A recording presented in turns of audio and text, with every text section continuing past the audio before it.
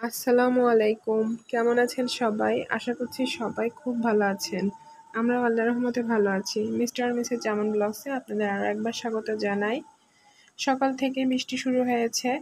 আজকে অনেকক্ষণ থেকে বৃষ্টি দেখছিলাম বসে বসে। তো বৃষ্টি দেখলে তো আর হচ্ছে না। এদিকে দুপুরের জন্য রান্না বান্না করতে হবে। যেহেতু ইরার বাবা বাসায় নাই এজন্য আমার আর মেয়ের জন্য এখানে মাছ বের করেছি, কাঁচকলা দিয়ে রান্না করব। আর দুই পিস মাছ এই যে এখানে দেখতে পাচ্ছেন, এটা মেয়েকে পেঁয়াজ দিয়ে ভাজি করে দেব। মেয়ে পেঁয়াজ দিয়ে মাছ ভাজি খেতে খুব পছন্দ করে। এটা দিয়ে ভাত মাখিয়ে দিলে আর কিছুই লাগে না। সুন্দর করে মাছটা বেছে দিলেই ও খেয়ে নেয় ভাতগুলো। আর এদিকে এই যে মাছটা ভাজি হচ্ছে, সাইডে রেখে আমি এখানে পেঁয়াজটা একটু ভাজি করে নিচ্ছি।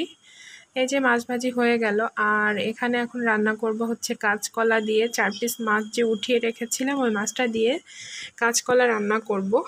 তো কাঁচকলার ভিতরে যেহেতু বাবুও খাবে, আলু দিয়েছি দুইটা কেটে।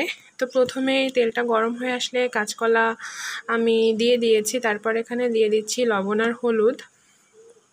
এই লবণ আর হলুদটা দিয়ে আমি প্রথমে কলাটাকে ভালোভাবে ভেজে নিয়ে, তারপরে এখানে বাটা মশলাটা দিয়ে দেব। আপনারা কে কীভাবে কাঁচকলা মাছ দিয়ে রান্না করেন, সেটা আমাকে চাইলে কমেন্টে জানাতে পারেন। আর অবশ্যই আমাদের, আমার ডেলি ব্লগ ভিডিওগুলো দেখতে আপনাদের কাছে কেমন লাগে, সেটাও আমাকে চাইলে কমেন্টে জানাতে পারেন। তো যাই হোক, আমি এখানে কিন্তু বাটা মশলাটা দিয়ে দিয়েছি। বাটা মশলা দিয়ে কষিয়েও নিয়েছে ভালো করে। এখানে এখন পানি দিয়ে দিচ্ছি, ঝোলের পানি দিয়ে মাছটা দিয়ে দিয়েছি।